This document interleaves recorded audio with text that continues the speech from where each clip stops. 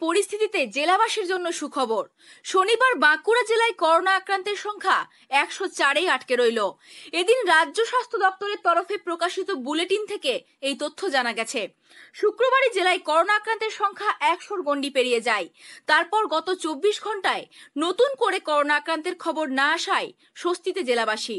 দক্ষিণ বাঁকুড়া দর্পণের পক্ষ থেকে বিশেষ অনুরোধ, করোনা সংক্রান্ত সমস্ত ধরনের স্বাস্থ্যবিধি মেনে চলুন। আমাদের সকলের মিলিত চেষ্টায় আমাদের জেলা, রাজ্য তথা দেশ থেকে করোনা মুক্তি এখন সময়ের অপেক্ষা মাত্র। ভালো থাকুন, সুস্থ থাকুন, আতঙ্কে নয়, সতর্কে থাকুন প্রত্যেকেই।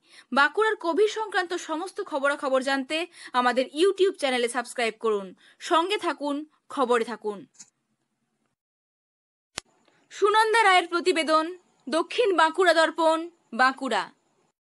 টিম দক্ষিণ বাঁকুড়া দর্পণের পক্ষ থেকে বিশেষ অনুরোধ।